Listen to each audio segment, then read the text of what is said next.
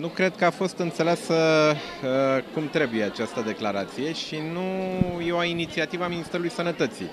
E o inițiativă care vine din zona universitară tocmai și propune această inițiativă uh, acordarea de burse separate de bursele de merit, da? niște burse speciale pentru cei care uh, vor să, își, uh, să aibă o sumă de bani pe durata studiilor la medicină, ulterior, urmând a petrece un număr de ani, probabil 5 ani, în sistemul medical românesc. Deci este un proiect care vine tocmai din mediul universitar, deci de la universitățile de medicină.